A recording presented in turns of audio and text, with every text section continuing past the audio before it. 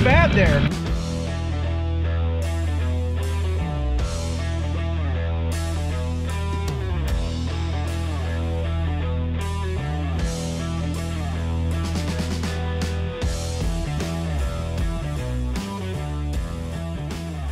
Welcome to J&J Auto Wreck Test video of a very wrecked and very loud Ford F-150 Harley-Davidson M2 FD339.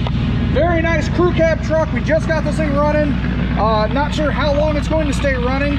Just having some issues in here. 136,776 miles on this. Give her a little rev.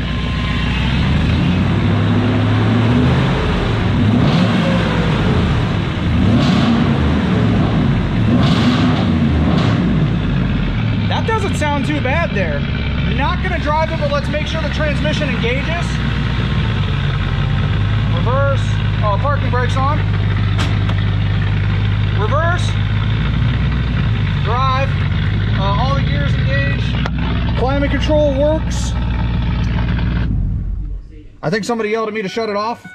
No, we're just saying burnout. Oh. They want to see a burnout? Radio doesn't work. Okay. Well, here we go. Well, I mean, I'm still making a video. I forgot about that.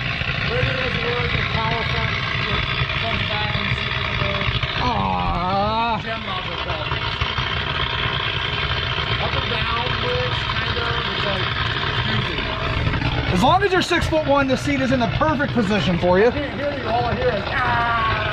Right. Yeah, let's get that annoyingness out of the way. Uh, does have a front and rear seat set in this bad boy with the Harley Davidson console. Beautiful flame design on the lid here.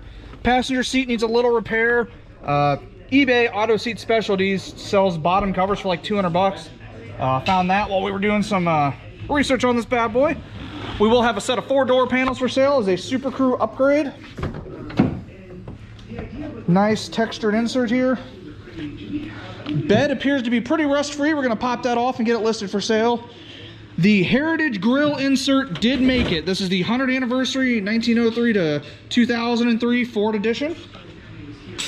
Pretty good looking. Right rear door panel.